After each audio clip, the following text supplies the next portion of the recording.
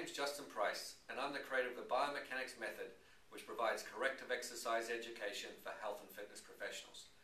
Today I want to talk to you about traditional versus functional anatomy and how understanding functional anatomy will help you design more successful corrective exercise programs. Now, from your static or postural assessments, you would have gained information about your client and understand now where their bones are out of alignment. So you would have done a skeletal or structural assessment and you may see that their foot, for example, overpronates.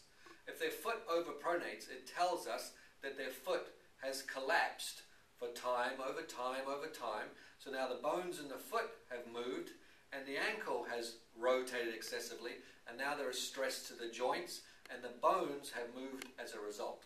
So if we know that someone is an overpronator, what we need to do is look at the muscles that control over pronation to understand where to address the dysfunction.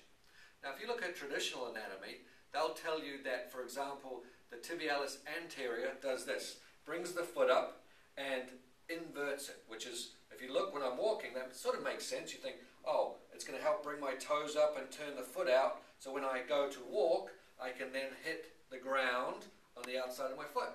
However, people don't typically hurt themselves when they lift the foot off the ground because there's no stresses going through the foot and ankle.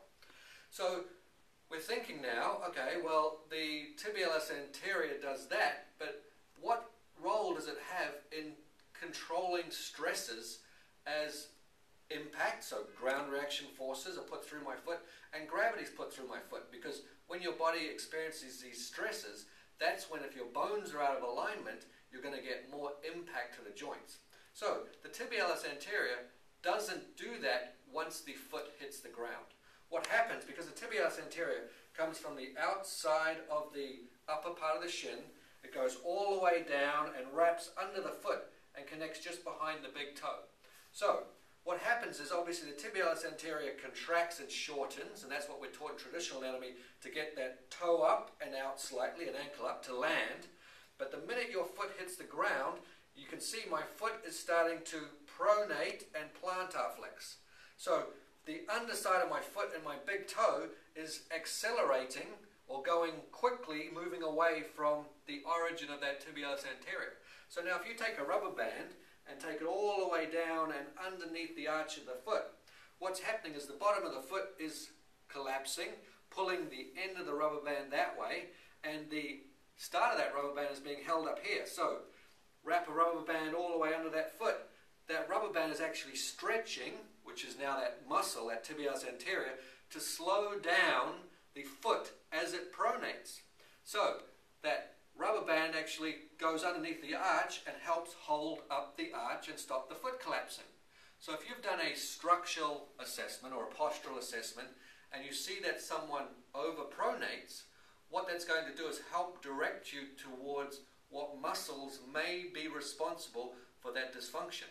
So, you look at the bones, then you understand what muscles go from those bones that are out of alignment, and then you can be directed to understanding what muscles need to be retrained to help decelerate the foot as it pronates so it doesn't collapse and get stress to the foot, ankle, and all the way up the rest of the kinetic chain.